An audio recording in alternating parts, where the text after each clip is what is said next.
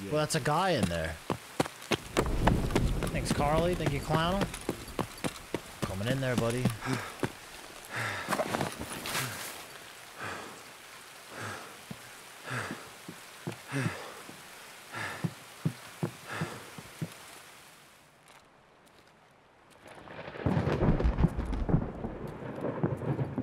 Love watching to play.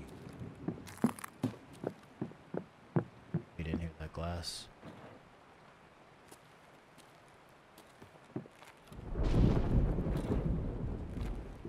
At the beginning of the 21st century, the Umbrella Corporation had become the largest commercial entity in the United He's States. looting.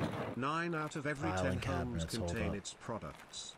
Its political and financial influence is felt everywhere. What's in the In files? it is the world's leading supplier of computer technology, medical products, and healthcare. Unknown, even to its own employees, its massive profits are generated by military technology, genetic experimentation, and viral weapons. What are we hearing about, Umbrella? I, I want to know where the files are at, bro.